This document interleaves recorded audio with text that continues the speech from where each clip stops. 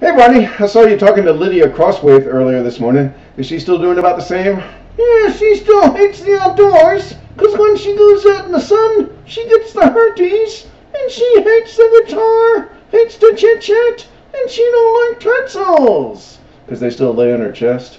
Yeah, and candy still makes her nauseous. And she don't like to go doling. Because she's got a bad back? And she still don't like car rides. Because she gets car sick.